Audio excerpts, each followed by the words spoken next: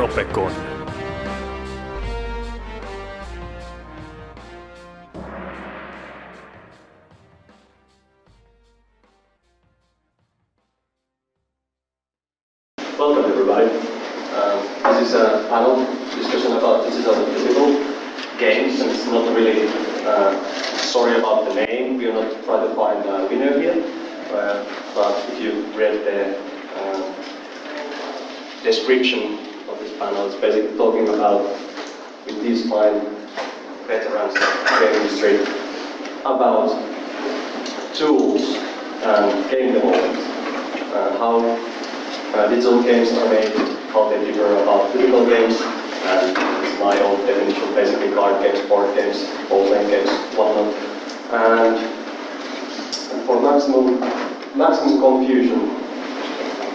This like we scrambled this like I, I, I wanted to show this slide because the color themes were so amazing, like red, green, and, and, and blue is that color. And for the maximum confusion, they're not dressed like that right now.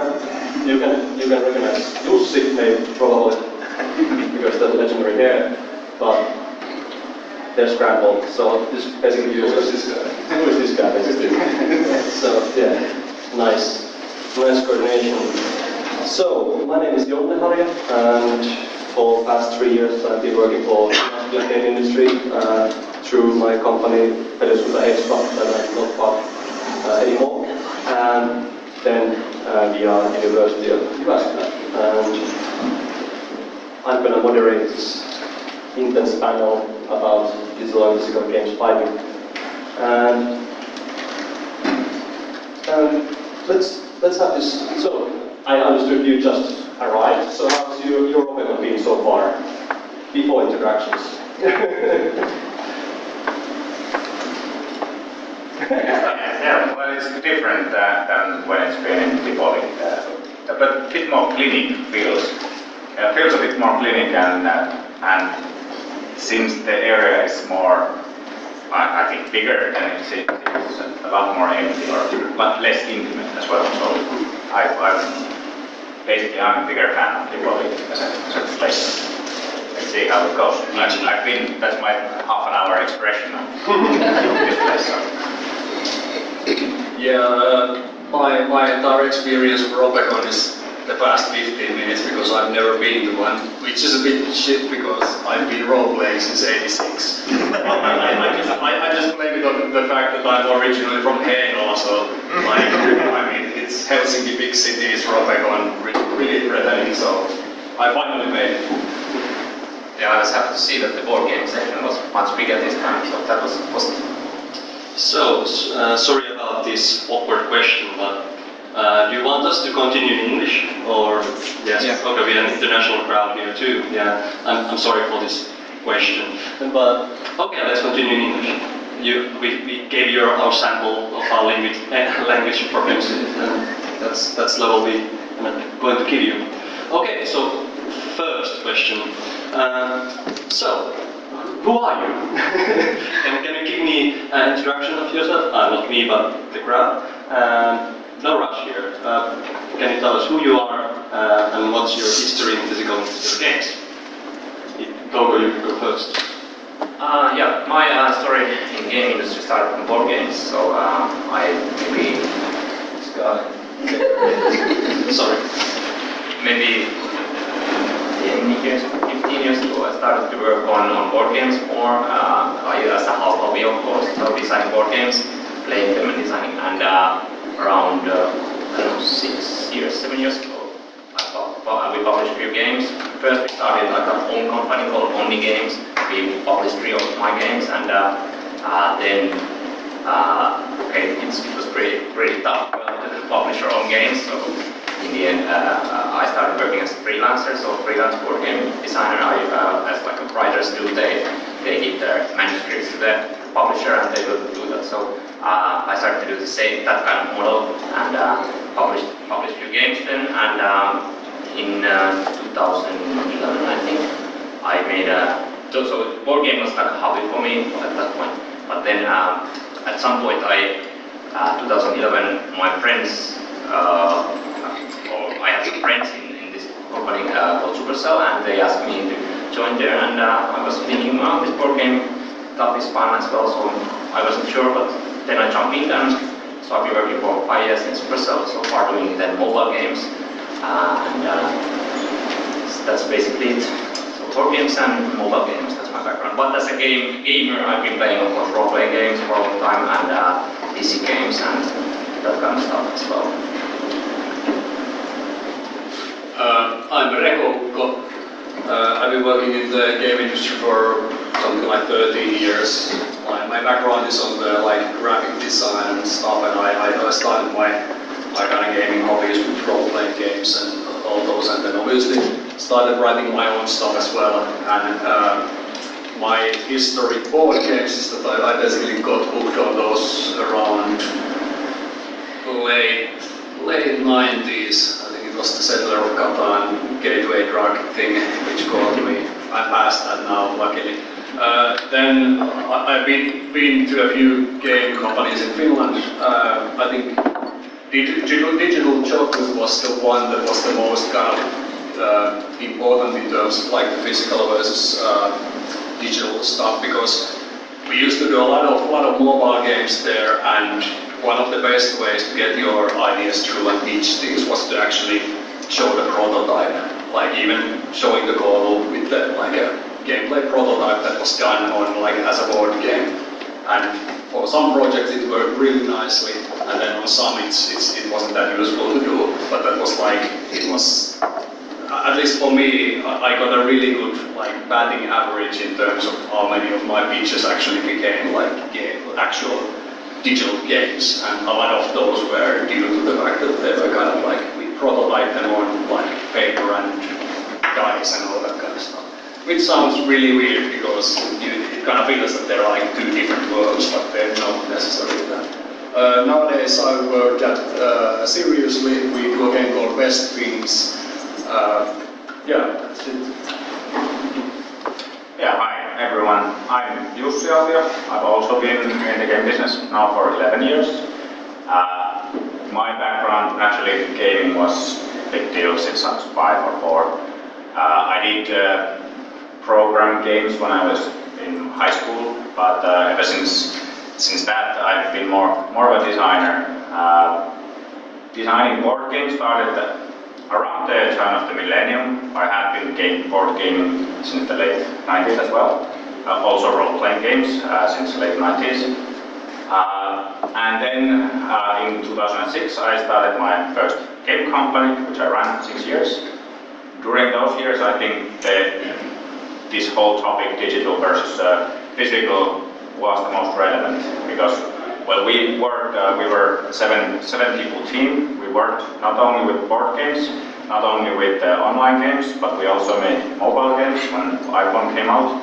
Uh, but we also worked with uh, with the VTT, the Finnish uh, what's VTT in English? I don't know. The research center. So we did um, like physical games using printed electronics which was pretty cool, cool to explore uh, different possibilities that uh, printed electronics would have.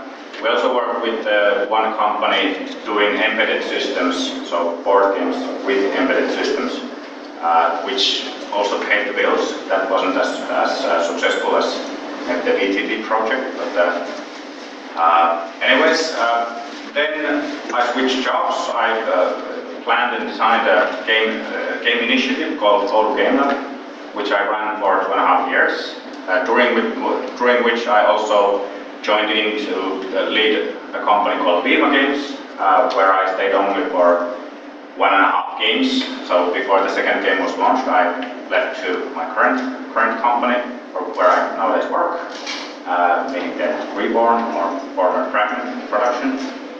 In Viima, uh, the biggest success was naturally the first game. We got 25 million downloads, mobile free-to-play game. Uh, and in Reborn, the first game is still on the works and should come out on January. So that's my background. Uh, hopefully we will uh, see some insight on how digital and physical meet. Yeah, thank you for all the panelists. I'm really happy to have you here. You're all like sort of idols in this uh, game design for me. And uh, uh, it, mm, uh, most clever of you might have noticed we have one missing, and it's uh, probably because of the uh, in Finland. Fin- Finland is the best country to work on games, and we have these things called summer vacations that mess things up. So we have one panelist missing. Two of us here. I don't. I tried to find him, but didn't. No. Okay, he couldn't make it then. so we had an organic panel here. Few changes, but yeah. Thank you and welcome. It's really awesome to have you here. Um, I'm by no means uh, professional in uh, physical games, board games, and like uh, I designed one board game. It was amazing.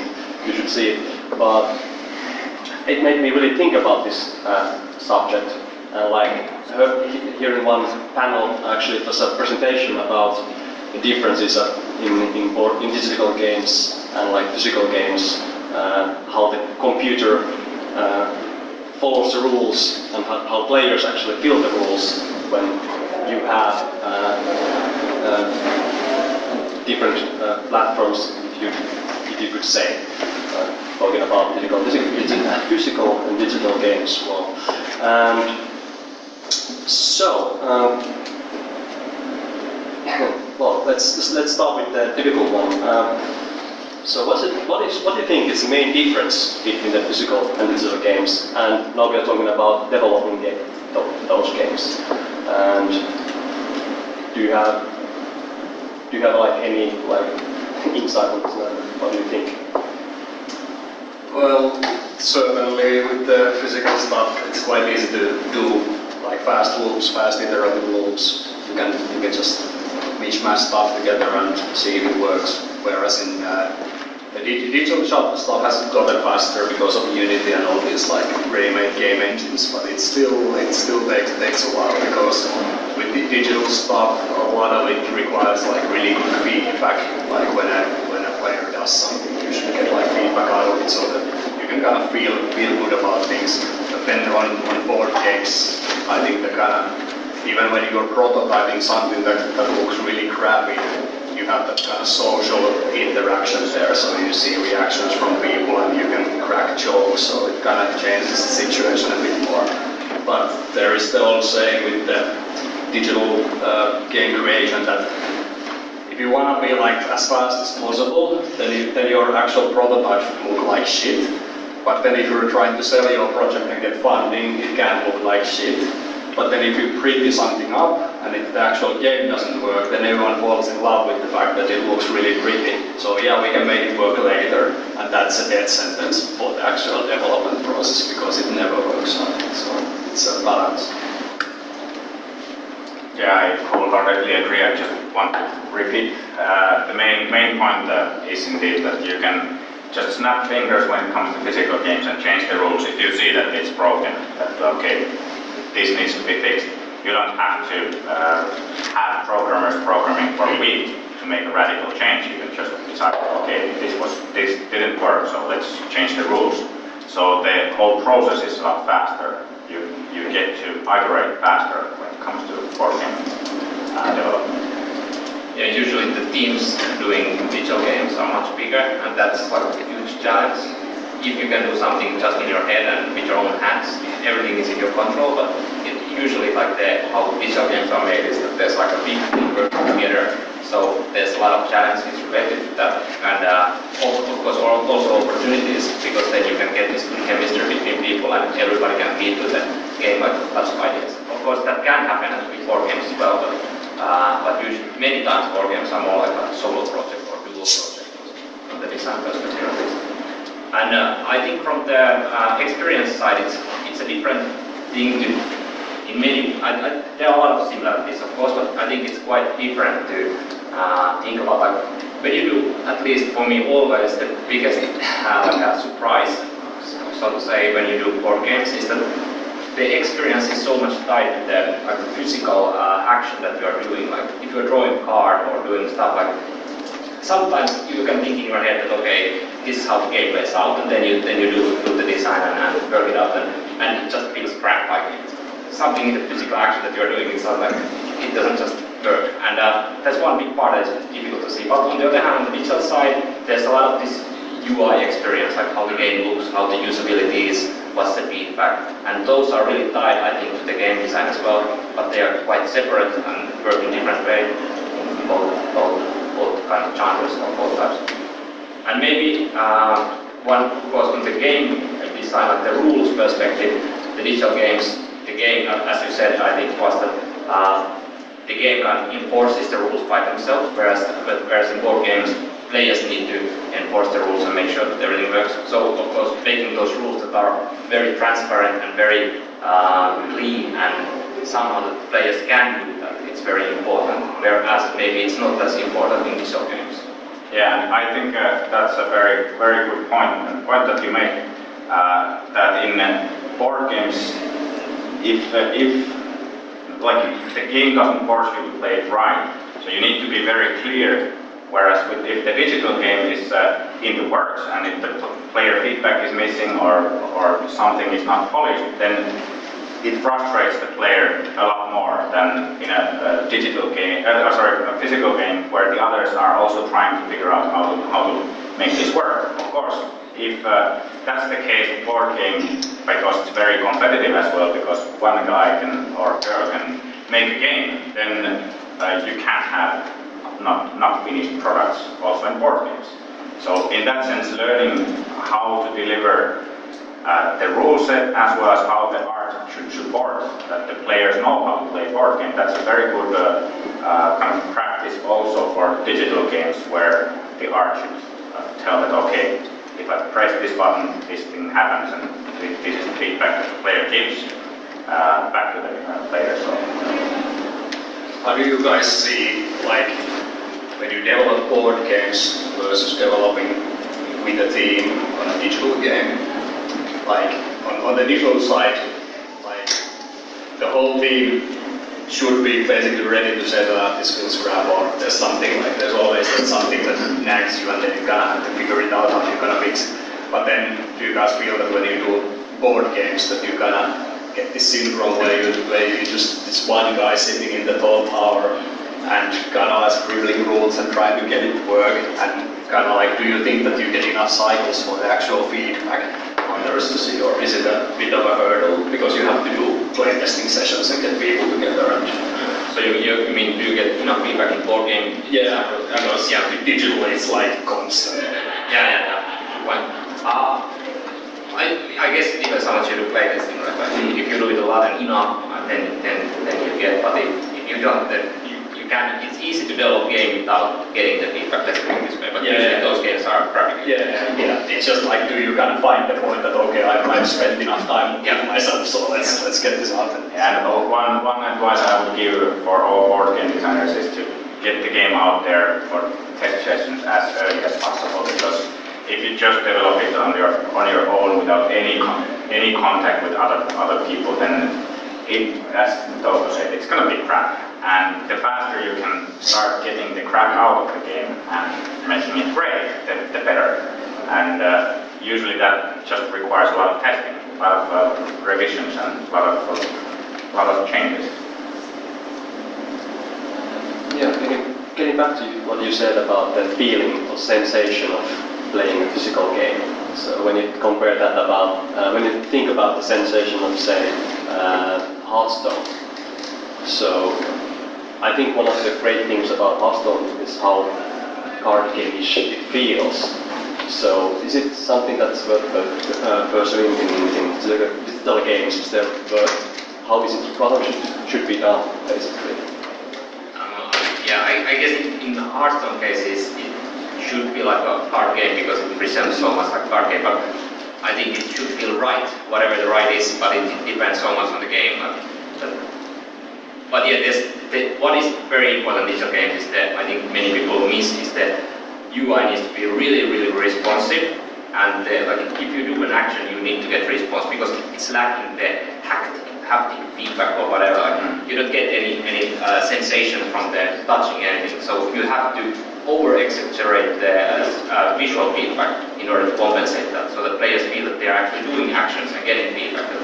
And, and you can see a lot of games that are missing the missing the visual feedback, and I think that's super important. But Hearthstone does it really well. There's a lot of visual feedback. Yeah, speaking of Hearthstone, I think it's, it's a good question, and I, I think especially with the physical versus digital, because like, how many here have played Hearthstone? Probably a. Yeah, okay. So, uh, the, it, I, I find it like really interesting, like given yeah, okay, Blizzard develops a card game, and Blizzard has done a lot of like online stuff, and everything's there, they, they know every, all of it. So then, like, what do they decide to do on Hearthstone in terms of what actually transmits from one, one player to another? So, okay, they don't do any chats, they just do like, yeah, game and that stuff. But then the really interesting details are like, for example, when I'm playing against another player, it obviously tracks like if I if I hover my mouse or my finger over the uh, cards, and the cards gonna lighten up and they're gonna enlarge a bit. And that's exactly what the other player sees as well. So it's almost like you have two guys with, with deck of like cards like this, and then you have that bit of like kind of like that tactile kind of someone's kind of like looking at the cards, and then the, the order is the same, so you know that these cards here are the oldest and these are the ones he just drew.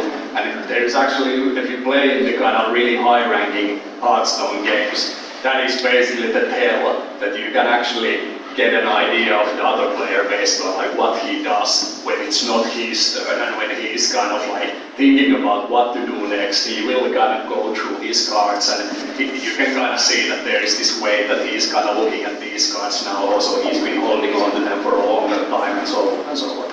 And I, I just love that kind of detail and it's not it's not the most visible feedback you see, but then in terms of how the game works, it's like just fantastic. It's such a small detail to kind of miss if you imagine that there's like a ton of game design documentation, then there's only this one thing. But like, let's make sure that the other player sees what you're doing with your deck. Yeah. I just want to uh, say something I forgot. So if you have any questions uh, during this presentation, uh, I think I think we're good to take them uh, even during the presentation. If you have anything that uh, really catches your fancy that, or you, you don't get points, just lift your hand. So, um, Straight away.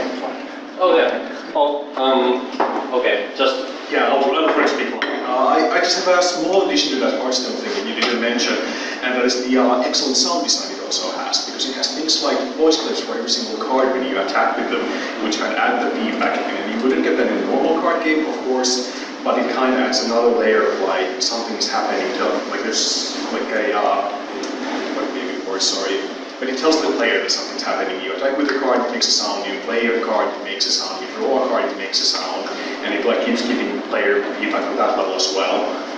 Yeah, there's a level of branding for Blizzard as well for like long time Warcraft fans. So it's kind of like that, especially the World of Warcraft stuff, like all the all the Murlocs and stuff. Like it's it's really irritating, but people love it.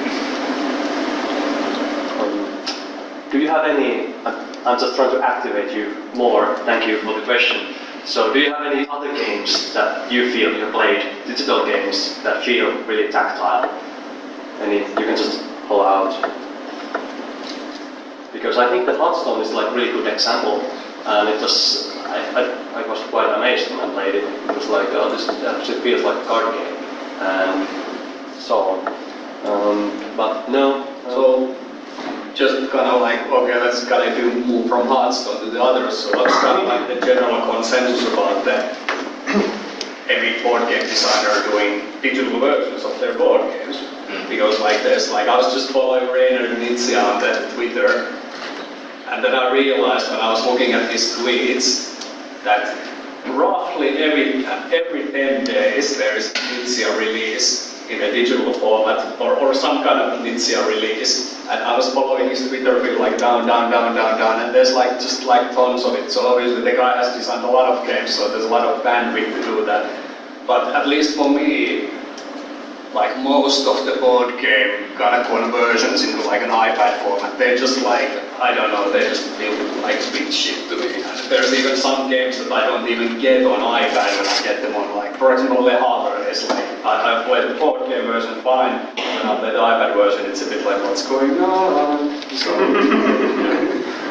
There are, yeah, there are some counteractions. I, I kind of agree with, you on there, but it's, especially on Small World, I think it's, it's beautiful. Yeah. App version and works nicely, and, and Agricola as well. It's very good app, and uh, Ticket to Ride. Ticket to Ride. Yeah. Carcass. I would say Carcassonne, yeah. Carcassonne, yeah. But I think all of those are actually, yeah, all of those games actually have a fairly good amount of development behind them. Yeah, so yeah. they kind of take the platform into consideration. Yes. And some games they work much better in the in the the format. Like there are a lot of in for example, like take Eclipse as an example. There's a digital version of that, and I think one of the problems, uh, even though it's well overall, I think it's well made, and but there's just one, one problem related to the uh, kind of passing and and. Uh, that it happens very naturally in the board game format, but it's very clumsy and, and slow in the digital, digital version because you have to wait actually to do their passing and, and that kind of stuff that you don't really think about in the board game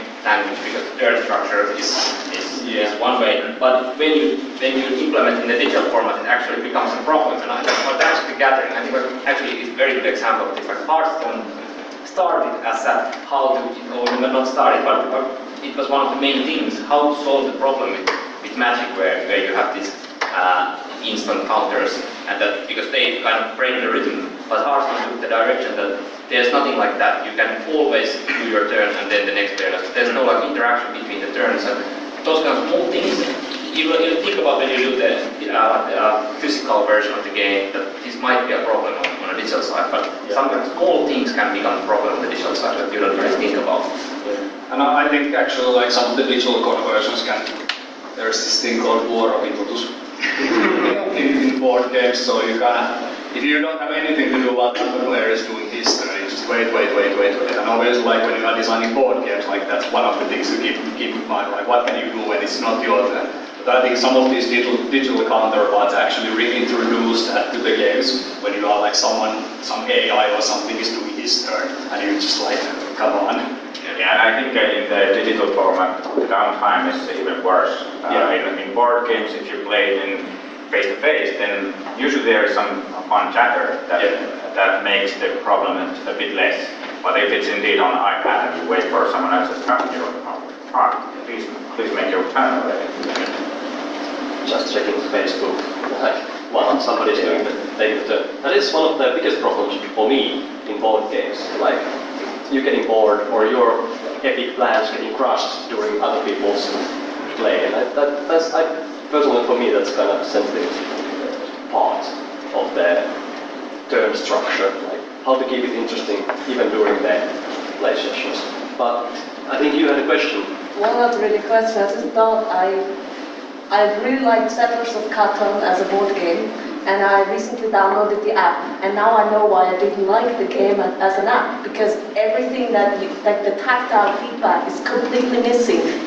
So thank you for the input in a way, and now I know why I didn't like that. Yeah, we are. Please hold the mic. You can pass it. Okay, we have a question there actually. I can to speak. Uh, I'm, I'm, I'm sorry, I was asked to pass the mic so, because they are recording everything you say for NSA. So, or somebody else. So, I mean, I, I ask you to pass the microphone. So, um, is this on? Hello? There's that uh, on the switch. So, uh, I like playing Dominion much better in the dig, dig, dig, digital version because it's much faster and easier to play. So, in, at least in that game, the downtime is actually, in my opinion, uh, much less in the digital version than in the physical version. So it's, it's played much faster. I have played with my friend like five minute games, whereas in the physical version that would be practically impossible. So Yeah, it's the deck building aspect of it. It gets a shuffling, yeah. shuffling, shuffling, shuffling. Yeah. I, I played like, I think my count on Small World on iPad is something like 600 games or something like that. And it plays way faster than the actual board game, but I do like the board game. You definitely like it. Every platform has its strengths in a way, and, and board game is a bad platform. You can think of that way, and it has its own strength, and the digital side has its own strength. And if you try to uh, do a digital version. Some games just the transition is much better because then it plays with the strength of the platform. And I, in case of Dominion, for example, it's a good, good example of that. That you can get rid of the deck building and shuffling and all the stupid things. Big setup. That actually leads to the next. Uh, sorry, did I? Yeah, yeah. That leads to the next question. I was just thinking about uh, what do you think are the biggest strengths of the, uh, say, board gaming platform and let's combine card games uh. So, well, okay, well, it's, it's hard to no. Many games are both, but anyway, what what is the biggest strengths of like Psycho, like developing? Uh, actually, not even developing. Like, what is the point of those games?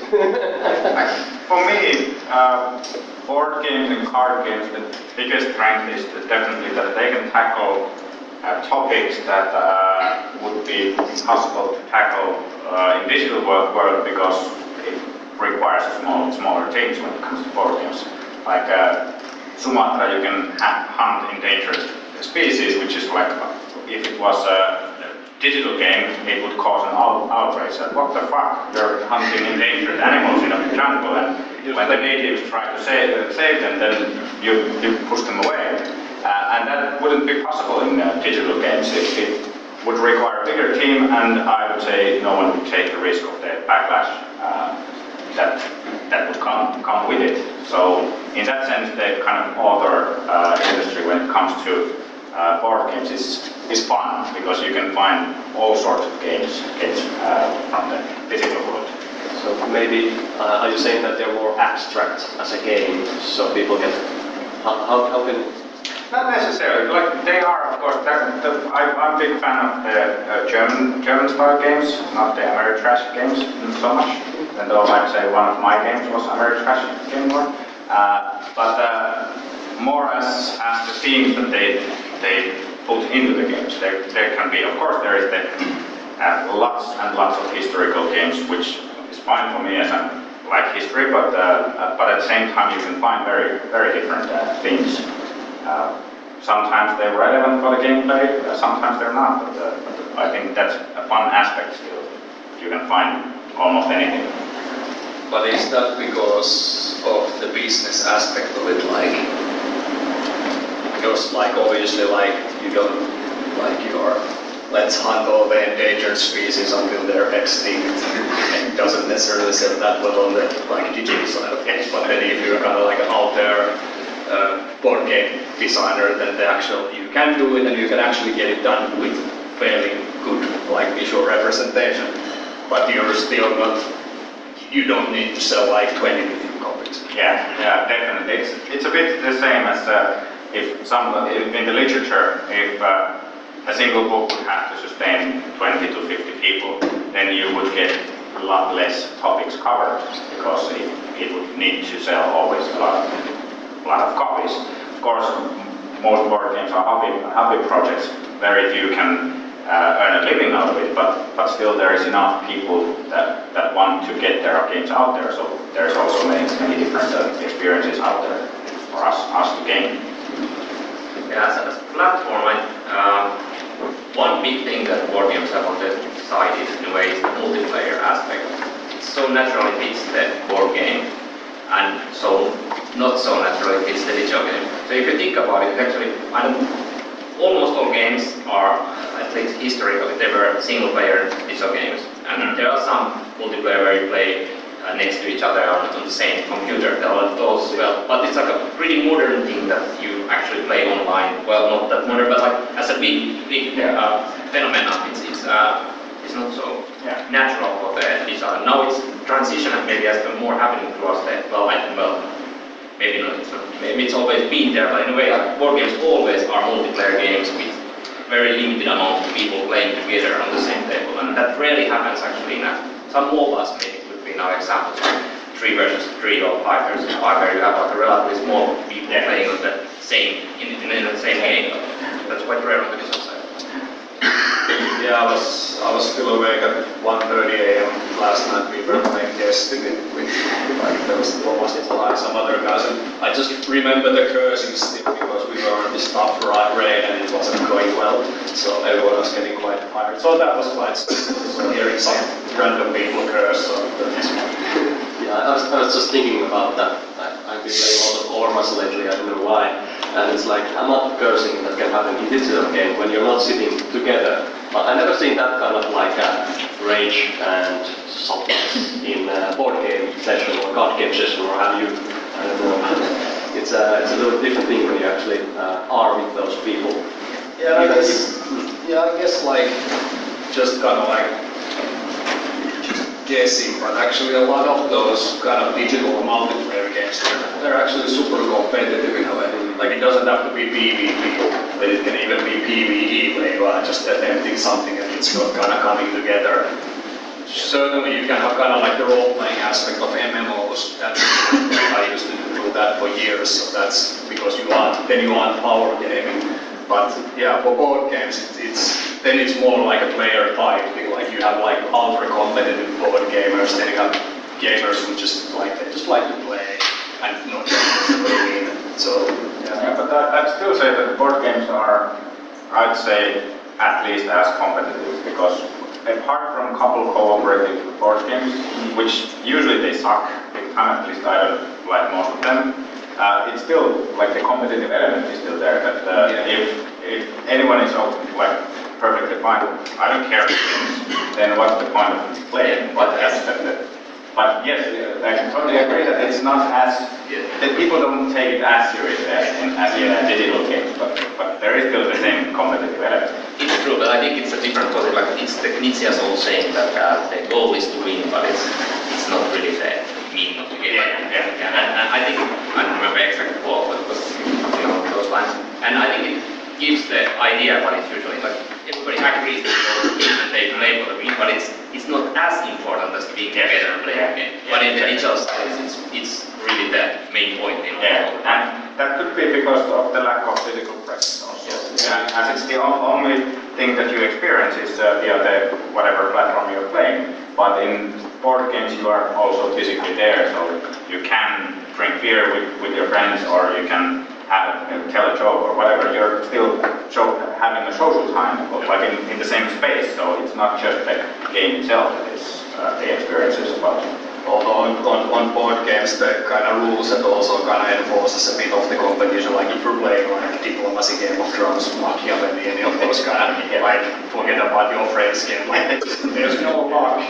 So everything's just like, yeah, you might start with the beers and candy, but then like, it's like, yeah, I haven't touched the beer, and everyone's kind of looking like, like I'm gonna like shoot the face. so, yeah. I think the social or the multiplayer, uh, they, they are very different usually. They are much more complicated, all the uh, dynamics in the, in the board game setting, whereas in digital side, that it's more like, uh, I'm saying many games, the other players are just creating interesting content. It's almost like a single player game where the other players are creating interesting and varying content for you. So it's not, not so personal, not so complicated interactions happening. As in, let's say, four-player board game where one does some action and affects everyone, and everybody tries to everyone tries to read the game state now and, and think about what the next guy is going to be doing. And this very rarely happens in digital games. Yes, that's true. Good point. So we try to sum up, uh, sum up the things that we yeah, we just discussed, and then we can take the question. Uh, can we pass the mic there, that direction, while we while I'm talking? so uh, yeah, we talked about. Uh, sorry, I forgot about but the so, uh, social, uh, the multiplayer aspect of the board games, and the. Mm, sorry, I completely forgot what did you say. But I only said that I agree with Touko. Yeah, exactly. So you were talking that you can be, you can, there can be more varied uh, board games and physical games because it takes less, re- uh, bit smaller team and less resources to be able to that. And then we talked about multiplayer aspects. And what else? Or do you have something to add or ask, please? Uh, I have something to ask. Yeah, please. You can. So, um, I would like to ask about can we play a little bit around these conversions, but from another direction, like having the same game coming from digital world in the physical world, or more broadly, uh, having same immaterial property becoming a physical property. Like, for example, Battlestar Galactica, the TV series, becomes Battlestar Galactica, the board game. And what are the what is the business and what are the tricks and the tools and the rules of the trade in this subject? Do you have any ideas? Um, so do you mean more like a business perspective or how, how do you handle the IPs or Oh, oh, why to make these uh, physical versions, these board games, and how to make these physical ver- versions, these board games, and so forth. Yeah, I, like um, when it comes to licensing, uh, I don't know about Battlestar Galactica, but uh, like for the video game companies, there is like lots of licenses that we could use if we just are willing to either go for revenue share or, or pay for the license. Uh, but at, the only uh, personal experiences uh, that I know from board games I don't on this topic is with the uh, Gear uh, company from Poland who made the Witcher board games. Uh, and as far as I know, they just happen to know the guys and uh, know also the comic artist, and then they just uh, agreed with the with the CD Projekt who if I understood right, that they had all the gaming rights at the, at the moment, and then they went out for a beer and they made a Witcher uh, board game as well. So, in, in that sense, naturally, with all licensing, if you have an own brand, then it helps getting the shelf space. It helps get people remembering what the game was.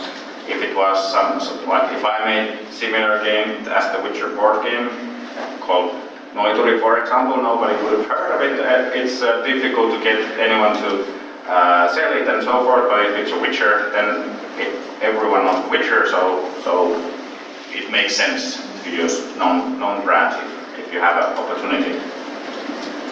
From the business, business perspective, I think mostly it's to sell more. Not the other way around, I don't think it's usually. But it can, yeah, you can sell more copies if you have a good brand. And from the design perspective, I think one of the benefits if, if you have, is also limitation, but it's, it can be a benefit from the uh, learning perspective and from the immersion perspective, so that players who start playing the game, they already know what's the game about.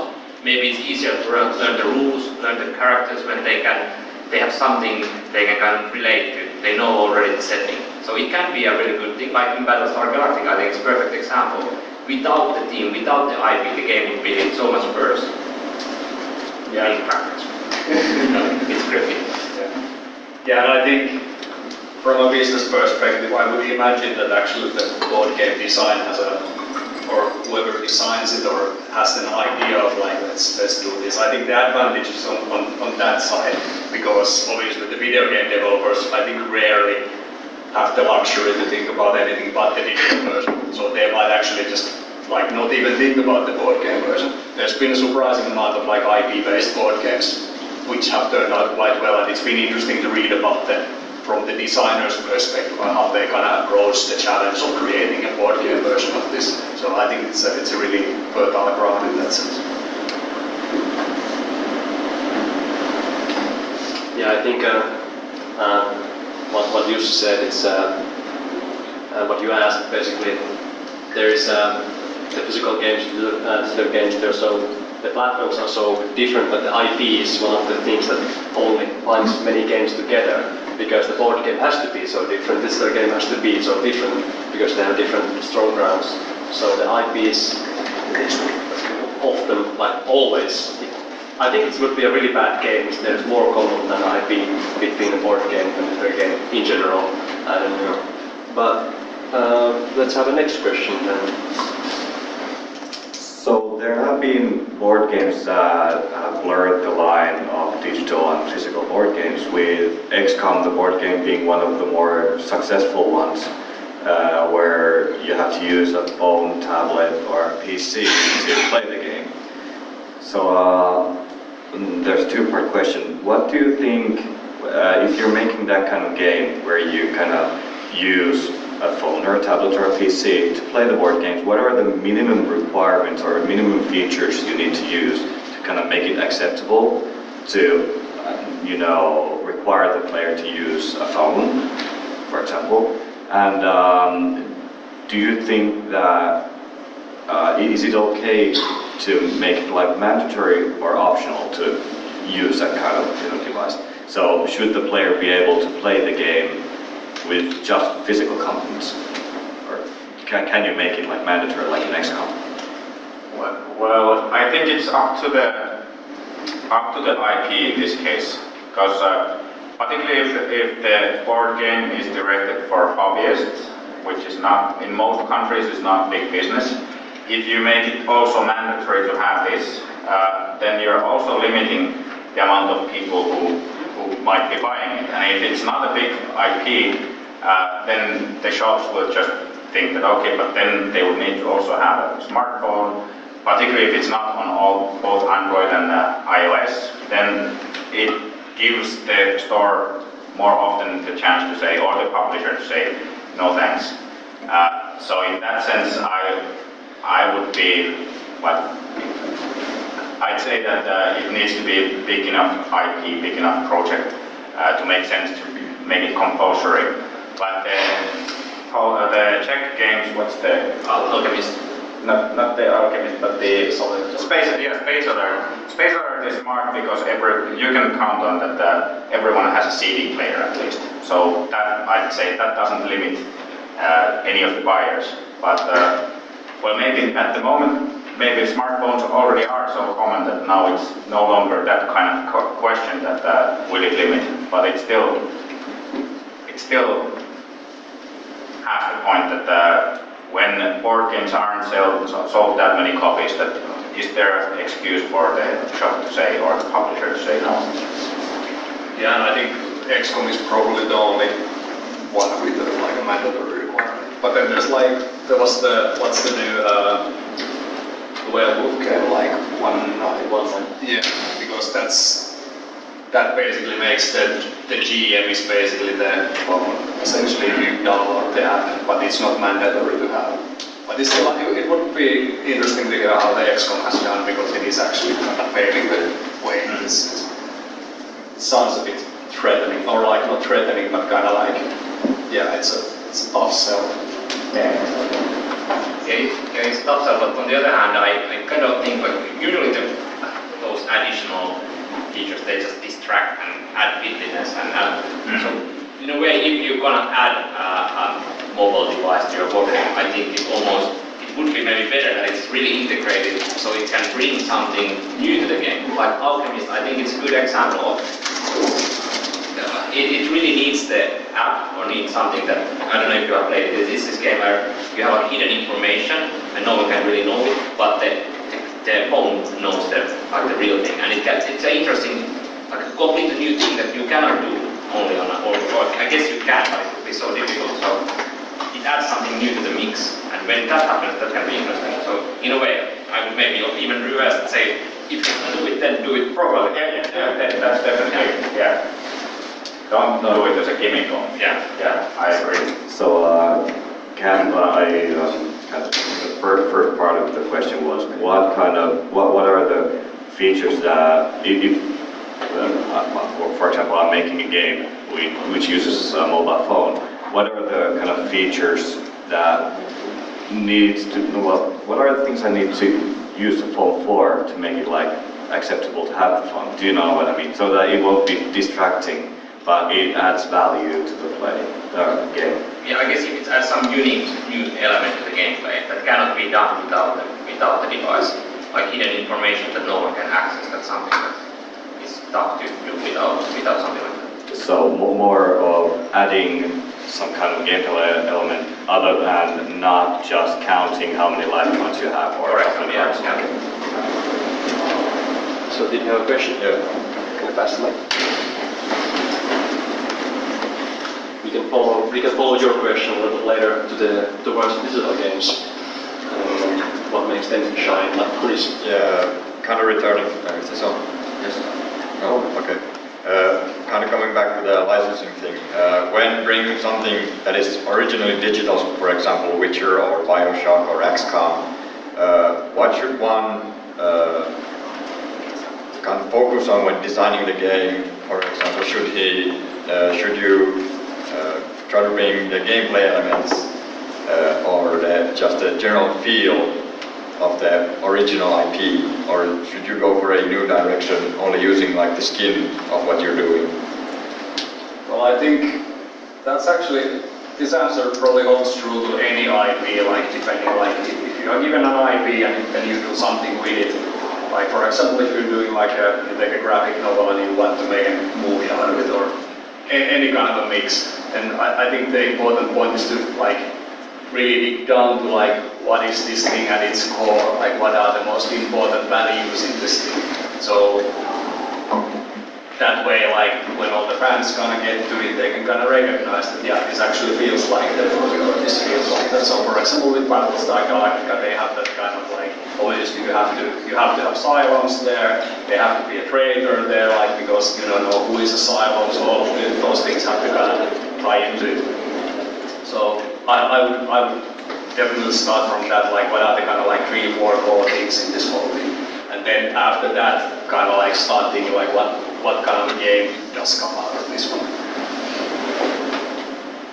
Yeah, and while doing it, make sure that it's supported by the platform. That if the if it's a real-time game that you want to bring in board game, indeed dig out that uh, uh, that core, core thing, but don't try to force it to be, for example, real-time if your gameplay idea doesn't work real-time. Don't just transfer the IP, uh, transfer the gameplay and expect it to work. But IP you can transfer, but the gameplay probably not. Yeah, I agree completely. The gameplay is usually very difficult to, if you change from one platform to another platform properly, so you, usually it doesn't make sense. But sometimes you can uh, have the same feeling with the mechanic. It can kind of feel the same or feel natural, even though it's completely different. But that, that's something that you can try to. And as said, from the team's perspective, or from the learning the rules and understanding everything, you can still convey the feeling and, and the atmosphere and everything. And I guess also like if you think about it, like let's assume that you don't have the IP and you are like okay, there's like you want to do a board game out of Stranger Things or something like that. So then like probably Netflix hasn't thought about it, or maybe it has, but you, you are imagine that you are the guy who walks into the meeting room with the guys, and then you are pitching like okay, so I want to make a board game out of Stranger Things.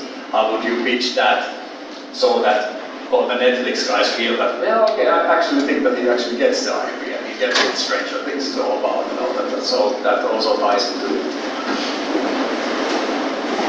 Okay, there's a question back there and next one there. I, have, I still have like three big, big questions here, so uh, let's hurry forward.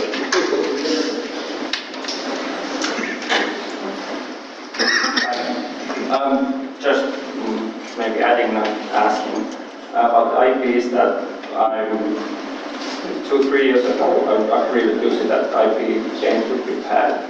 But nowadays, it's a growing trend that IPs are coming. If you just look like Hansen Flipkart has shown Star Wars, Rebel Star there's XCOM, there's Legendaries, there's everything IP, and it's all, all only for business. And then there's a company called IDW that takes Ghostbusters and everything else. If you want to check IDW, then they do the IP thing very well. Um, and returning from two questions ago, I would say the strength of the board games is the people around you. So I would go there. Mm, and well, you have the question, so I don't ask them. Okay. and there was a uh, next question number two. You can come back back to your question later if I miss it. Okay, it's on. Yeah, I'm Aki Kokonen, I'm a research director at Turku School of Economics, and uh, since I'm a previous business researcher, um, I was wondering, can you mention what are the main differences and main similarities between the monetization of digital and physical games? And like uh, I think Jussi said that quite a few people make living out of designing physical games. How these branches of game design can help each other to prosper and make more people happy and wealthy. Uh, thanks. that's a that's a large topic. If there is a, a, a three minutes. like in uh, board games and card games, I guess there is basically two monetization models. What we call in digital well the premium, so you pay and you get get that, and then you have the collectible card game, so you sell boosters.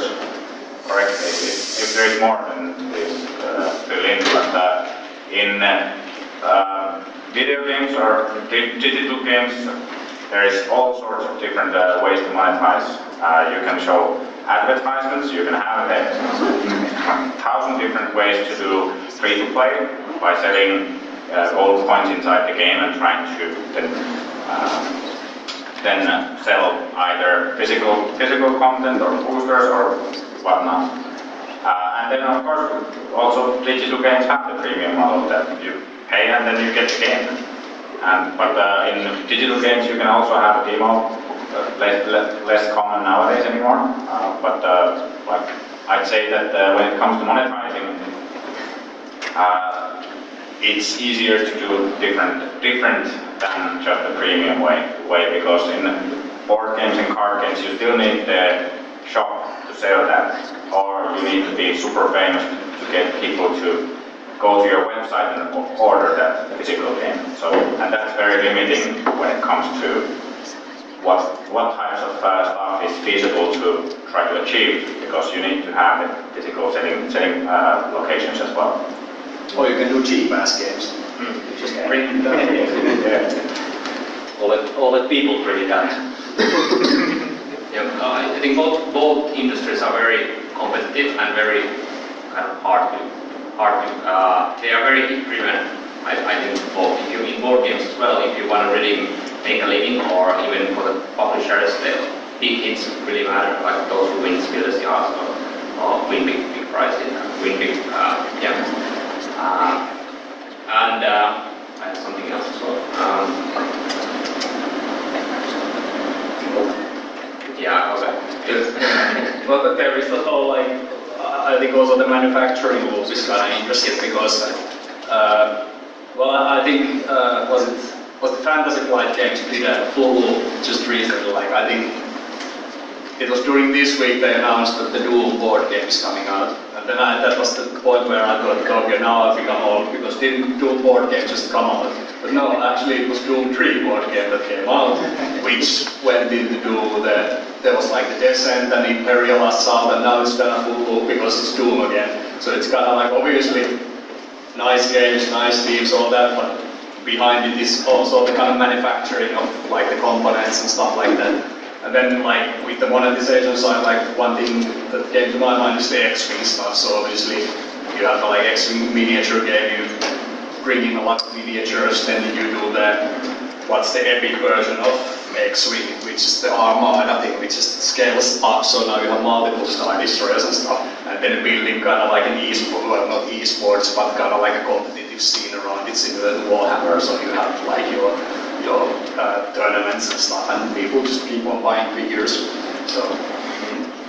One yeah, another about the other thing is the distribution. I think is very uh, important, and that's a bit different. In at least now the digital side, the free-to-play starts to kind of win the market, and then the distribution is very different than for uh, if you buy if you go to a GameStop and buy buy console game. That's how then the distribution really matters there uh, in a like a physical or logistical way as it's in board games. So that means that the big companies uh, from the um, old school publish, publishing side, they can kind of push their products better in the distribution chain. And I think there has been a little bit of changes in the board game, and the hobby hobby market is of course always been a bit different. But uh, now the Kickstarters and everything, there's more channels. But still, on the board game side, I think that the distribution plays a big role.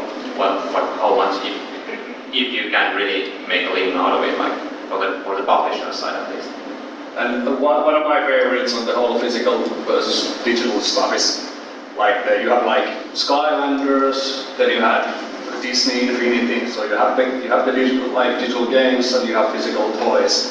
And Disney just decided, yeah, we're gonna shutter uh, Infinity, which was like the games were really good, like nothing wrong with it, really well developed, really nice games, all the kids loved it. But they basically stumbled on that. Like it's it's a really hard thing because now you're kind of used to the digital world, but here comes the physical one. Like you decide to have these toys, so now you need this much shelf space and you need the logistics and you need to ship that stuff.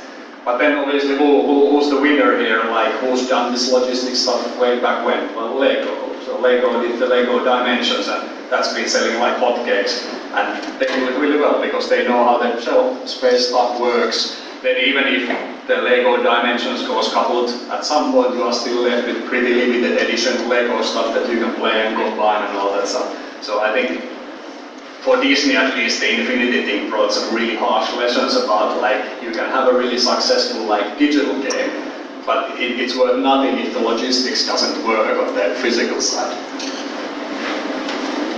Okay, um, that is actually one big topic. We're going to talk about the new era of the physical things, or the already past era of that uh, or so. But let's talk about digital, uh, digital games now. So uh, we talked about physical games, like how they are social and uh, cheaper to make, basically. Uh, but what are the best aspects of the digital games? What can you make into the games that you can't make? And I understand it's a broad. Like console games, mobile games, whatnot games. Like there's lots of different games into the other side. But like, there like a few aspects that are really good, really easy, or really like they really work in development field? Well, one, as I said, one big thing is that mo most video games are basically single-playerish type games, and and for those, I think one big benefit for digital games is that they, because of the computer, because the AI, they can uh, the gameplay can be uh, balanced to the player's skill level, basically. So you can make the game feel just the right amount of challenge for the player. And that kind of balancing is very difficult to do on board games. Of course, the other players balance each other out, but basically games can adapt to the player behavior, and that's that's one one big thing. Just as an example, there are probably yeah. zillions of different things. And yeah, on, on the kind of flip side of that, with the board games, like there are examples of board games where the players themselves, like depending on your experience level, they can of shaft the game quite a lot, like Puerto Rico and its sitting order. I mean, if you have like a if you have a newbie guy sitting on your left, then the guy on the right is like he's like he has a lot, lot of advantage on that because the newbie doesn't know what what he's going to pick on his turn and so on and so on. So that's it. that's a complete answer. awesome. Um, so, uh, all of you guys are now working uh, with digital games, uh, probably working some physical games too, maybe. Uh, but, um, like, Touko, you started with, with physical games, if I got it right. so, uh, should you, should, uh, because part of the cross games, like the program, is, uh, this is targeted for people who are interested about making games and interested about uh, this also for people who want to make games and want to probably make it even for career. So is it a good place to start? Is it, is it a good idea to do your uh, board games or card games if you like to be uh, in, in a game industry, even in digital side at some point? What's the best idea? the best idea. Okay. Can you elaborate? yeah, uh, I was actually almost saying when you asked what are the benefits from the, or not benefits, but the, like the good things about board games platform. And, and for developing games, I think it's very good platform because as, as uh, Jussi said about the iteration cycle is so much fast that, that you can do something and, and try it out, see if it works, next day or even the same night do another version of it, try it out. It's almost impossible to do with the digital games because the uh, cycle to develop the game takes so long. So if you think from the designer's perspective, you can learn very slowly on the digital side because it may be half a year of developing time, then you see, okay, shit, this, this great idea didn't work out. and then you're like, okay, I learned it, but okay, it was a half a year learning. And from the board game side, it's much, much faster. So I think that's, that's very big and, and real benefit for for, for designers. They can iterate so much faster and learn. So while you're sitting here, just go design your board games and card games, uh, do you have anything to add? To no, I, I just uh, want to emphasize that I have never agreed anything more than what I said. Yeah, I, I, I've been recruiting people uh, myself, and it's I often there are many people who like to be game designer, but they still don't have anything to show. And I think that's uh, one good way to show that you have the uh, communication skills and logical skills to actually make a rule set, make a game. And, uh, yeah, I made my first board game like earlier this year, and it was it was mind blowing. Like, it was really interesting to make a game your, yourself and like really think the whole process and like was it was hard for me to show the first version to people. It was like it was too late when I showed it to people already. So uh, my my giveaway is show it as early as possible. But it's a little difficult, in my opinion, to to know when it's ready to be shown because if it doesn't work at all, it's you don't really get any good feedback. That's same with digital games, but at least your digital game doesn't run and it crashes every one second if it's really, really in the making, so to say. But but with, when can you find the when is the moment to first try it out? I'd say show it as early as possible. If you think that you can't play it yet, offer your friend a beer or invite just to talk about that. How are you planning to make the make the gameplay, but uh, as early as possible. Like, don't waste your own time so much that uh, you safeguard, oh, but it's not ready. I don't want to get the uh, constructive feedbacks how to make this better. But show it as early as possible. And if, and if you're in a lock position that I don't know how this should work, then try it out or get people to talk about it uh, and offer a movie ticket or indeed invite people over a beer and then they will help out. And then you're one step closer to making a great game. So definitely never say. Yeah, I, I think this, this is one of my kind of favorite topics in a way. Uh, because it doesn't matter if it's board games or digital, like it's just important that you actually finish something and then the ability to finish something actually, even if it's shit, it means that you have some idea of like scope management and like you wouldn't, you can guess how many times when I to like, for example, some students who are gonna get onto this for the first time and gonna listen to the features and stuff, like it's always like, yeah, so I'm gonna do like a, it's kind of like Hearts of Iron with Master of Orion and diplomacy and stuff, and then there's like you go to the planet and there's the first person shooter version of that, and then it's like okay, and it's ready by autumn, and then it's, then it's just like okay, well, have you considered maybe cutting the first person shooter part out? So so there, there's a lot of that, and then I think we used to, used to do this a lot in Digital Chocolate, where, like when recruiting game designers, and it's part of it is just for fun. It's not meant to be that serious, but obviously you can imagine that some people get kind of like antsy about it. Like we used to do stuff like we we gave a we gave a kind of like a game designer candidate like two decks of cards, two pens, a rubber band, and a dice, and then we left him into the room for one hour and like, yeah, can you make us a game? And then we come back in like one hour and see what has happened. So it's it's not like it's not like you need to do like the next multi-billion seller card game, but it's just like you do something and you and then we can kind of see how you kind of think about things and if something's shit, how would you fix it? Have you thought about it and so forth and so forth. So it's just like kind of like keep going, keep iterating. If you can't finish anything, then I think that's some kind of a sign that you should kind of think like just try to do smaller things. And, and one thing I want to emphasize also is that idea is not yet a game. If you just have an idea, but you can't explain how it's going to work or how it's going to play out, you don't have, have a game. Once you start, uh, once you know how it should work, how the rules go, then slowly you start to have a game. But an idea that indeed if you take like a first person shooter combined with the uh, horror theme and so forth, that's not yet a game. That's not a game idea. That's, that's an idea, but it's not. Yeah. Regarding Reko's point, I think it's very fine balance. Like if you look lots of uh, board game hobbyists, uh, designer hobbyists, they, or we all are, I guess, board game hobbyists, but anyways, like if you, there are two problems. One problem is that you never finish anything, and the other problem is that you you never kill anything. You just do the same game over and over again and never let it go. And I actually kind of think that it's better just to always start a new project because that way you at least learn something. Of course, it's important every now and then to finish something as well. But for the learning process, it's I think very good to just do something, see if it works out. If there's potential, continue forward. If not, kill it, start a new one. Don't feel too much love in your, your games. I think it's very important. And learn very fast.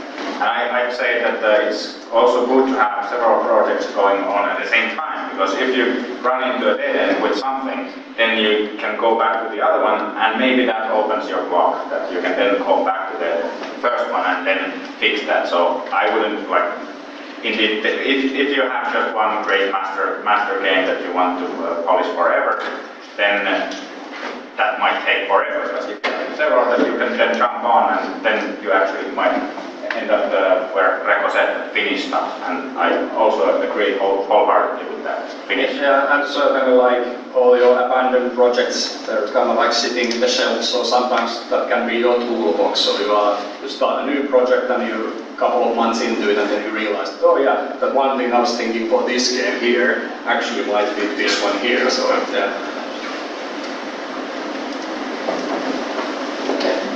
Um, so, um, there's one question. Oh, yeah. Question. Uh, where's the mic now? Who's the mic? Yeah.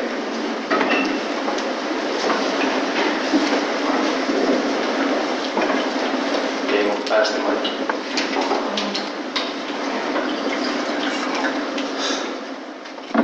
Yeah. Um, Can I ask a small question about the um, uh, testing of, uh, especially testing of physical games?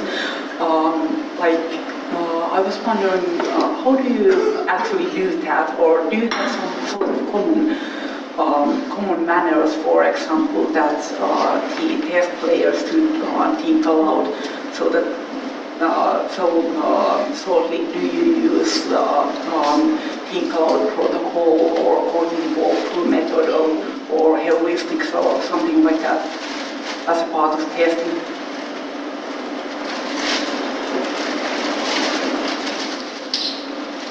I'm, I'm not sure, did I completely, did I understand what I meant? So did you mean that when you develop physical board game, do you use some uh, like a external, um, I don't know, idea or a set, how to call it, like a methods of testing? Yeah, methods of testing. Yeah, like some sort of um, uh, like you know, typical common manuals, uh, manuals that um, or uh, you just like uh, the uh, test players to just like try it out and play the game and see how, how it works out. Okay, yeah, so it's basically like, can you design a spreadsheet or do you have to find a balance by playing out in, in a way? Like, I, I, I don't think it's possible to make some game theory. I, I have never seen it work actually, any game theory stuff like on, on high level or anything like that. And on, on spreadsheet you can of course do a lot of testing on the design phase that you can think about like I, I wouldn't say that much actually, but you can do some some testing on the on the like spreadsheet phase. But I actually think that the it's important to have these ideas in your mind when you develop a game, so that you have the uh, somehow feeling of the game, like dynamics. But then you have to get put the game out and play it, play it with other other players to get the feedback, so you can then maybe change some numbers and parameters. But overall, it's, it's, it's mostly about intuition in the end and about player player responses.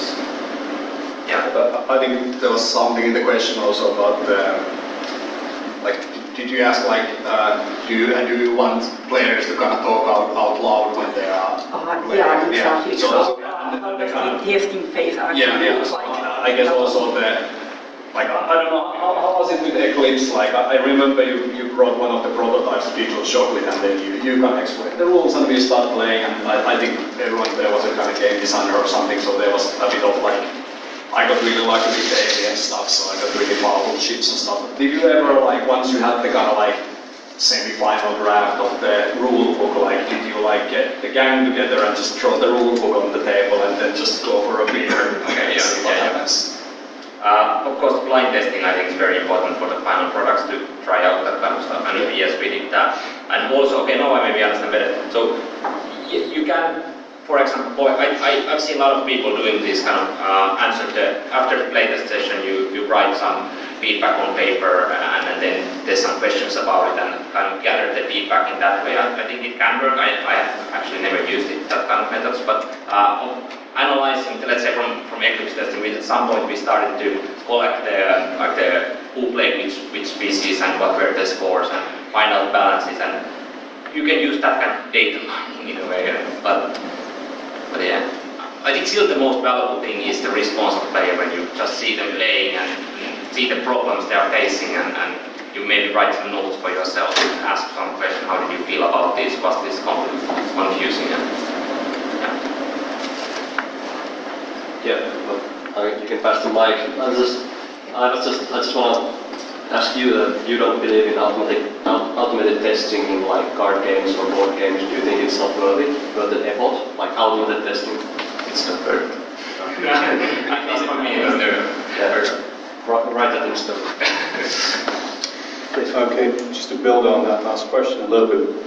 Now, uh, the user interfaces in games, both digital and physical board games. Now, I'm not a game designer by any stretch, but I'm a UI designer, so I tend to notice certain kinds of things, like how in Arkham Horror, uh, things are completely in wrong order in the card from a usability perspective because they're not definitely presented in the order they occur in the game. And like good things, like in, in Small World or Thurn and Taxis, the visual design supports very well learning the components look consistent and score always is this same shape and things like that. So how do you guys as game designers think of the UI or sort of the usability angle? Is that completely indistinguishably tied to the game design, or is that kind of a separate thing? How would you think about that? And also related to, uh, of course, it's in playtesting. I'm guessing that you're more looking for game design kind of learnings for game, game testing, but of course, there's also usability things. What do you think on that? Very good question actually. I think the UI is, the usability is super important in, in, in both designs, like, like in physical and, and visual. And uh, maybe from the, at least from my perspective, I think maybe even from the visual side there, uh, many, depends, many times the uh, user interface design, I would say maybe even, even more important in some cases that you have to think about the experience from the what can be there's, there's so limited amount of space on screens usually, especially on mobile devices. What can happen there and what the interaction should work that they really tie into the gameplay mechanics as well. Yeah, there's there's an old saying that like because in the digital side you kind of outsource stuff, so you have some Asian studio doing concept art and whatever. So there's this saying that never outsource your UI design, and it's like it's it is it's it's really really super tough. Like I I, like, I agree totally that it is in my experience it is one of the hardest things on a project to kind of get right, and it takes time and it's there's there's there's a lot a lot of lot of stuff. I think Arkham Horror like that's just the Ameritrash thing. Like it doesn't have to make sense. So it's just part of the part of the DNA. like you, you're part of when you play Arkham Horror. Yeah. Uh, yeah, and, and there, there's I'm kind of just. I think there's some interesting things in, in board games, and this is again like I'm really old because this feels really new to me. But you guys remember the trend that started with uh, uh, Chaos in the Old World? They started using those sliding cardboard things that you, you can kind of see the number and then you kind of slide those and then Battlestar Galactica did that. And, and it, that's an interesting thing because that's also like user interface, but there's obviously many ways you can convey that same information. But for those games, it was like kind of really elegant, and I'm glad someone brought it up like uh, when they when they start designing those. Yeah. I think there's been more of that kind of innovation for me. Yeah. The gimmick side of, of that side has been really, uh, for example, the what was it called the with the moving moving wheels there. Yeah, the trophy. check games. Sorry? Yeah, exactly. I think that's a good example of that kind of that it, I think has become even more important than board games because the gameplay mechanics space has been explored so much already. So the next phase, because the production is uh, is maybe easier nowadays to do plastic models and whatever, and, and they, that's really gone gone forward. So there's a lot of innovation happening on the uh, on the like the physical uh, experience side on the on the board games and those dials and, and yeah, all, all of that stuff are good examples of that. And I also think like coming back to Arkham Horror, I think that what's the studio? Is Fantasy Flight? No, it's yeah.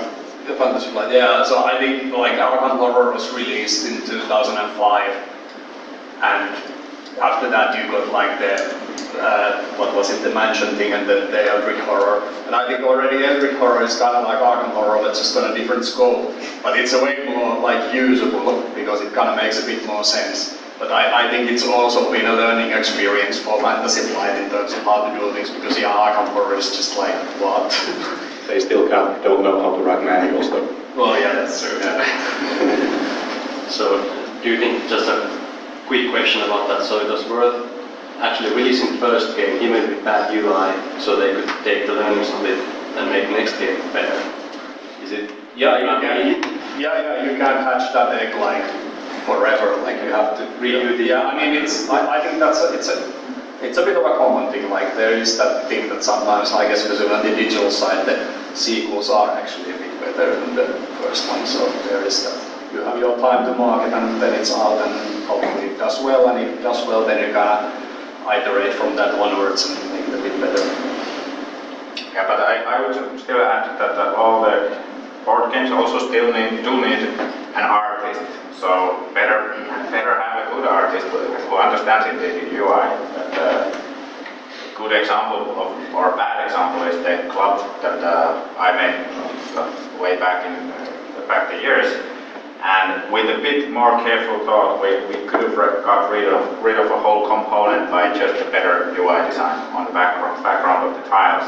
That we could have had all the information there, and then this super horrible uh, score, score sheet could have been a lot more simple.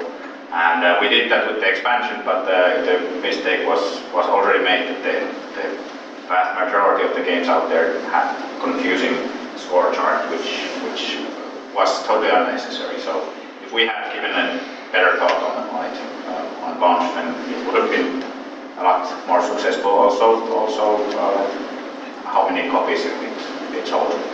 Yeah, and, and there is like definitely the business side of that as well. Like if you kind of think about like if you're doing a board game, it's not just the board but all the components, and then you actually have to figure out there like, okay, so how big is the box?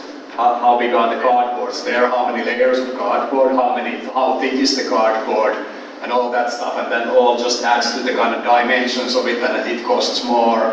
And then like, okay, so does it all have to be cardboard? Is there something we can kind of get out of it? Like those are actually, especially when you are kind of, I think on the kind of on the road to actual printing stuff out department. Like you, you will have a lot of questions on that side, like and a lot of like compromise on how how can you kind of make it work because it's all basically money, like the cardboard thickness and how much of it is in that and so on and so forth. Yeah, it's, it's good to take into account when designing a game already. Yeah, what kind yeah. of components it needs. If it needs something very crazy, it might, no one might be able to publish. One thing I think is interesting, what has changed in I don't what in past 10 years or something, is that the board game production have become uh, multi, uh, like um, they, they, they usually now uh, publish the same game in different languages at the same time. And I think that has changed a little bit about how, how especially the UI design is, so that from the design perspective, it's better to have these kind of um, cards and symbols that can be uh, can be done with single uh, sheet, so you don't have, have to do any uh, localization, basically. So that way, nowadays many of the games have only symbols in them, and I think that affects a little, little bit about how the game should be designed as well, because you cannot convey everything in symbols. Some things can, some things cannot. And if you are able to make a game that is only using symbols, it's a much better chance to get published because a lot of companies do this cross-country uh, publishing that's something maybe to take into account. And I, I think that's even made the good UI design uh, more important in a way because you can't just write a text and say this card does that because then you will need to translate it to all languages. So what's the panel's verdict on Race Against Galaxy or Race or Race for the Galaxy? The Race for the Galaxy. Because that they basically took the whole iconization like I think the furthest. Yeah, the next level. Yeah, I guess, but there's actually some text on the cards. Yeah, so there is, it's that's yeah, yeah, yeah. I think there it's just a usability thing, but it's Yeah. kind of like a coding language that you have to learn. Yeah, I learned it. That's the best game. Yeah, yeah, that's right. There's a question there. Well, if you can pass the mic.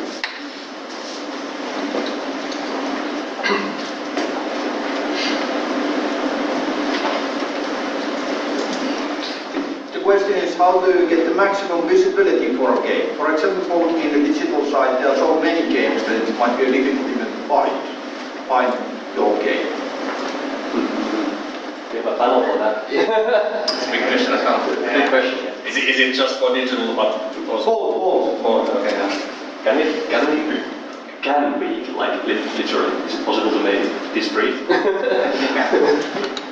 Yeah, I, I do think that this, this is worth a, a whole, whole panel.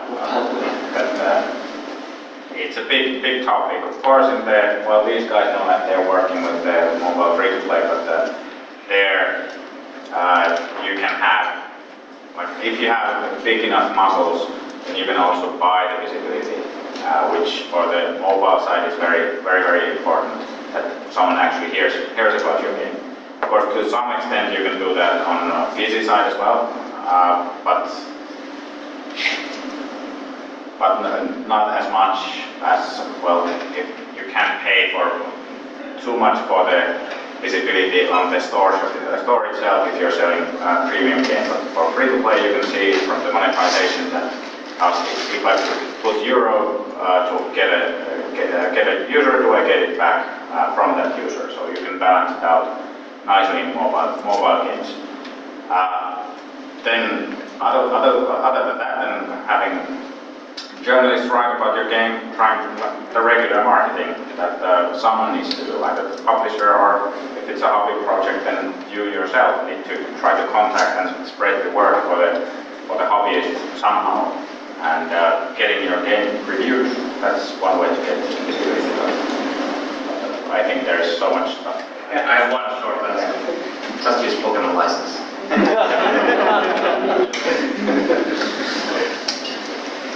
Yeah, it's a it's a huge topic. Yeah, like it's. I, I, I'm thinking like, should I just start talking about it in, in Budapest? Like, can, can we like just what's the board gaming? I know like because how do you get visibility? You have the whole logistics thing. How do you get the biggest place on the shelf? Yeah. Uh, well, there's the distribution, yeah, and the logistics side. I think finding a good publisher that has a good relationship is very important. And also from the hobby, hobby side, oh, and winning Spiel des Jahres. Yes, yes. Getting- Getting any any kind of Spieles is of course the biggest uh, as Deutsche Spieles prize, Spiele prize as well. But even the like domestic uh, Vuoden peli, I think that helps helps a lot. Getting some kind of recognition that this is a good game instantly helps. Yeah. And from, I think the internet has opened up a lot of possibilities. Let's say if you on BoardGameGeek or something like that, you can do you can do something there and like spread out the game in a viral way that people really start, start, talking about something and, and uh, Yeah, I think like actually I was looking at it, but I, I think like on like you have Indiegogo, Kickstarter and stuff and I think those guys were actually saying that actually board games are doing quite well on those. Like in comparison for example, when you're doing like starting your digital game and then it's like still two years and nothing's come out and no one's telling you anything. But I think like the kind of like the history on the board game kickstarting Indiegogo stuff has been quite good. And there's a nice trickle effect because then you get your, there's the BoardGameGeek entry and then people start talking about it there and it can, I, there's so many board games that have come onto my radar just like, oh wow, it was Kickstarter or it was Indiegogo or stuff That's that's a bit uh, different still because in uh, for board games they are usually finished games. If, if, like since one person basically or uh, can make a game, then they are like you they're usually not uh, asking for money to actually design a game, but they already have something.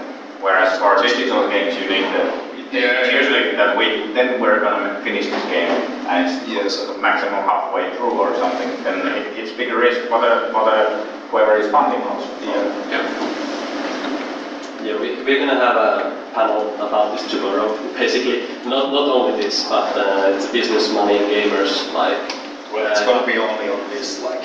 yeah, because we're talking about this. Uh, it's only, all- basically only about this. Free sleeping. so it's here tomorrow at one. Uh, we're gonna moderate it again. Um, so um, one brief question um, for and then the final question. It's surprising that we can run out of time in two hour slots. That's awesome. Uh, so uh, I started to record here. Uh, so I understood when I saw you talking earlier that you're still working. Like I understood you have like an artistic background, basically. Yeah. And I heard you you draw. Uh, you still draw by hand while working with the, the design with the game team. Yeah, yeah, my, my stuff is quite illustrative in that sense. So you're the you're the uh, visual. You try to communicate idea visually. Yeah. And like you had an interesting thing uh, points like many years ago when I heard it. Uh, why you're and why you're doing it by hand and not by any illustrators or like other visual. Yeah, well, I guess when you're when you have a background in like 3D graphics and kind of like digital illustration and all that stuff, and then yeah, and, and you can do stuff quite fast. At one point, there was this thing that when I was drawing things on a computer and kind of like just visualizing how things look, that actually can kind of like step on the feet of like the actual artist who are supposed to do the assets. And there's, I, I never had any incidents, but it just started to bother me that my stuff was kind of influencing their work so much because that wasn't the point. Because it was just to like give an idea like how should the feedback work and like maybe have particles here and let's have anticipation on this animation and blah blah blah blah blah. But it's just like yeah, and then I just did the whole Photoshop. Now I'm just doing stuff with I just draw it ink and markers and color it and then take a photo and there it is. So you get the same idea, but it doesn't. You can't replicate that on a kind of like a digital like Photoshop. So it's a small thing. But Yeah. So you're all working with digital, digital games now. Uh, do you have like physical means like this that you still use uh, in working with working with digital games? So is there something that's really helped your workflow? Uh, do you like paper prototype prototypes or do you use some methods like that in your work these days? Uh, I, I at least rarely use paper prototypes unless I'm doing board game.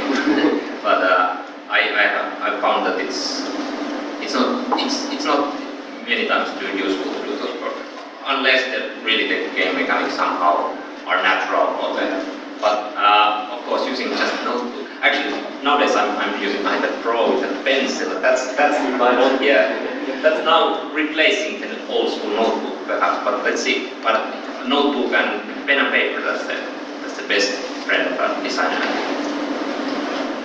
Yeah, I so I agree. Pen and paper are, particularly at the early stage of the production, they they are invaluable. I'd say, or at least I don't use digital stuff uh, like pre-production. Well, um, halfway to the pre-production, I then start using the Excel and uh, Word documents. But uh, like writing quickly, designing quickly, that's uh, that's at least what I do. Sometimes I do use, use uh, paper prototypes, but usually it's more to explain for the programmer, okay, th- these are connected that way. Uh, so I wouldn't say that they are not always like, like game itself, but rather part of my, my explanation and design, uh, like the creative process that uh, I can show that, okay, this is how things are going to work. So uh, not in the same sense as indeed making a uh, board game and having the first prototype there, but, but similar, still say. Yeah, I mean, yeah, definitely you don't want to kind of force the thing, like if, if it's not, if it feels that the prototype doesn't kind of fit this the mm. project, then don't do it. But there's like, for example, in Digital Chocolate, we had a, we have this game called Tower Bloxx, which is this kind of reaction game where you kind of build powers and you try to make them as high as possible. And then there were many iterations of that. And then at one point we thought that, okay, so could we just actually do something new, new to this thing? So there was a game called Tower Bloxx New York, which is basically you developing Manhattan. And that was basically we had the same kind of like the core game was the same. You are basically doing this Jenga-ish tower and you're trying to stack it higher and higher. But then outside of that, the meta game was actually building Manhattan, like thinking about like which kind of a building, uh, like is it commercial or is it like uh, industry or something, and you are basically trying to build the Manhattan thing. And that was like invaluable to prototype on an actual board game because now you are basically, you don't need to care about the actual core game, but you are just prototyping the meta game and how it works. And that was super important because like the IP itself was really valuable for the company itself because it had always done well and it was one of the flagships and so on. So they don't want anyone to screw that up. So then if you imagine that you are the only way you can pitch this new addition into this game is by just talking about it, no one is gonna like take that because everyone understands that the different way. But if you can prototype it and hey, well here you play it and let me know what you think. So that was like, that was really eye-opening because like then the comments actually turned around that, oh shit, this is actually quite fun, let's do this. So you need to kind of pick your battles when it comes to this prototyping thing. But yeah, it can be worth it, but so, sometimes I think what makes sense, uh, not really a prototype, but just do a sketch for each of the kind of screens in a way, like you can put them together. So it's, it's more like, almost like an interactive thing, like a booklet where you can play the game by just turning the page. I think that can work sometimes, depends on the game, but then you can visualize that. You can say now you push this button and then you turn the page and see what's next screen. And doing that kind of exercises, that's that's many times helpful. Yeah, yeah, we used to do a lot that a lot with some of the like first time user, yeah, like the interface experience, like kind of like the first couple of minutes, then eventually just stack of paper and with the layout printed or whatever, and then you just kind of see where the guy presses, and then you kind of move onwards. So yeah, that can work. Yeah. Yeah, but and for me, in the latest project that I'm working at the moment, when we were reaching the vertical slice, which is the first version that should give the experience out, uh, it was super helpful that uh, when everyone was super busy, we have been behind schedule since the beginning of the project, uh, which is uh, I think the best, best thing I did at that stage was creating like a 40 slide uh, PowerPoint presentation where I just, the UI artist that just joined the team made me buttons and then I just explained how, where everything should work. And that set us uh, like on the path, or on the right path for the entire team when we didn't have much yet. It was just uh, like uh, that in two months we need to be able to show some, something. So how, how, how should things work? So that was really, really helpful. Yeah, it was in a PowerPoint format, but very close to uh, paper prototype. Okay, uh, we have five minutes left, so it's time to start the last big topic. No way. Uh, so I'm, what, I think it's a good, good place, place to finish this kind of panel. Like the, uh, let's talk briefly about the new physical era that is uh, coming, like your most accurate interpretations of future. Like when we see like augmented reality games, somebody, some of you might have heard about Pokemon Go, uh, Ingress that has been uh, like Shadow Cities. Uh, but now, especially after Pokemon Go, like augmented reality, virtual reality, uh, gadgets, uh, all kind of gadgets and extra tools like Skylander that we talked about earlier, and Lego, what Lego is doing. So what do you think? Are we gonna, well, where should we start? Uh, this is one big problem. Um, so what is the big problem right now with those games? And is there a, is it possible we see them solved uh, in next, uh, like soon, so to say? in a way, like one, one big thing is of course the platform needs to exist in order to make games, and I don't think those. Well, I guess you can say that Pokemon Go has an augmented reality, but really you would need some classes to probably do that, and that that kind of is missing still. But whenever it comes, I'm I'm pretty sure that augmented reality will be big in a way for games as well. Maybe we are probably this is just my guess. Will be more niche. It will probably have a place, but maybe not in a way that many many today. Uh, but yeah, whatever happens, like mobile phones, they were made, made for gaming, but that platform supports gaming. So then, whatever the platform happens to exist, then will start naturally evolving, and, and the games that uh, use the advantage of the platform, for they, for them, they, they will usually succeed better. So I, I, I in a way, I, I see more like the platform comes first and then games, and not the other way around. But of course, sometimes the games can also support the platform, and because of the game, grows big. But I think that's more rare. Yeah, uh, one thing I love is that whenever there's a new platform, like the first first guys always get it wrong. Like it's, it's kind of weird. Like when when the iPads were coming, like everyone was talking about, yeah, finally there's a really nice platform for board games. And then like when, when the smartphones came out then you had a you actually had like some power that you could like do like good games on it. Then the thing was that yeah, finally we can do like I'm a hardcore game, I'm gonna make my PC game, but I'm just gonna do it on a smartphone. So it's like every time there's a new platform, the kind of idea of how people of use the platform and what is what, what are the kind of locations where you use it, that's kind of thrown out of the window because obviously smartphones aren't made for this kind of like I'm just gonna play 30 minutes and no one else, I'm not gonna care about anything else. So it's, it was interesting like Rock Paper Shotgun was doing this, they had a, like a 50 minute episode where they went through all the Oculus Rift demo stuff. And it was just hilarious to watch that because like they had like 25 crossbow games there, or some kind of a bow games, and the guy was just bored out of his mind, and yeah, my head hurts like could someone take this off? And everything was like really similar, really crappy, and all those long longbow games cost like $50 or something, and they're just like awful.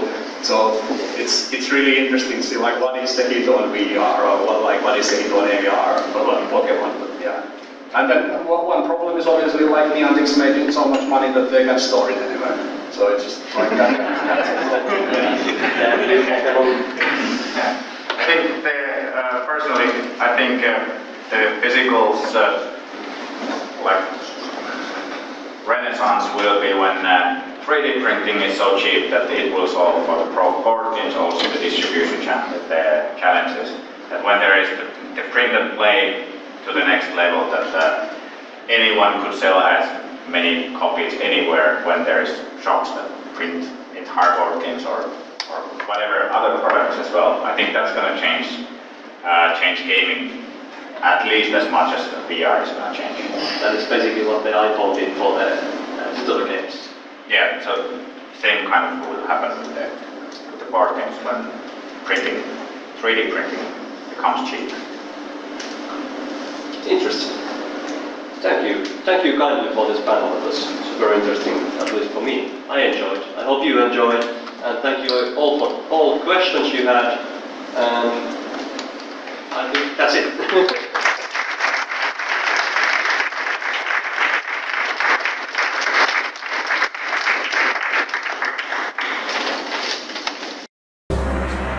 Becon.